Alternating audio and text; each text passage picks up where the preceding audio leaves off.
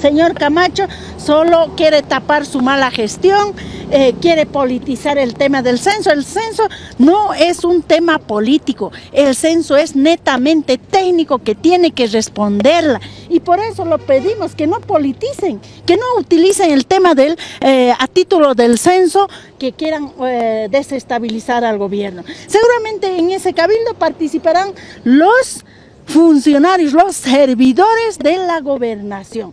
El pueblo cruceño que quiere el desarrollo del país, que está agradecido por las obras al gobierno, que quiere la reconstrucción económica, que cuida sus recursos naturales como el litio para el pueblo boliviano, no va a estar presente en este cabildo convocado, politizado el, eh, para el 30. Bueno, eh, eh, no sé qué función lo está cumpliendo el órgano electoral, cuando el eh, órgano electoral debe estar cumpliendo como manda la Constitución, como manda la ley del órgano electoral en sus atribuciones enmarcados. Desconocemos aquello, ¿no? Deben cumplir, pero esa tarea fundamental, como dice, no sé qué, no es eh, un eh, el órgano electoral, es parte cuando mandan, cuando determinan, cuando eligen sus autoridades de cada partido político. ¿Cómo manda la tarea fundamental?